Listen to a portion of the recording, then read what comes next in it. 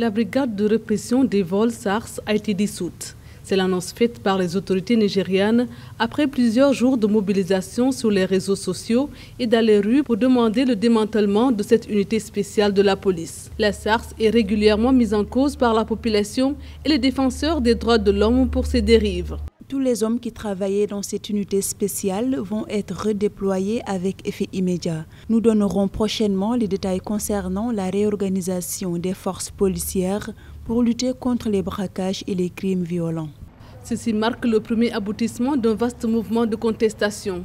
Mais certains observateurs sont plutôt sceptiques quant à la concrétisation de cette mesure.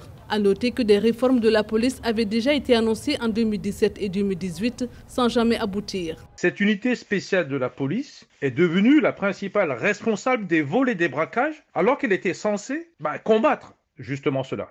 Maintenant, la création d'un groupe d'enquête spécialisé sur les crimes commis par la police contre les citoyens est en cours. Il paraît que ça se fera avec la participation de la société civile. Il faut une véritable réforme de la police nigériane. C'est une justice exemplaire avec des sanctions exceptionnelles contre l'impunité et contre les agents criminels, délictueux et indélicats.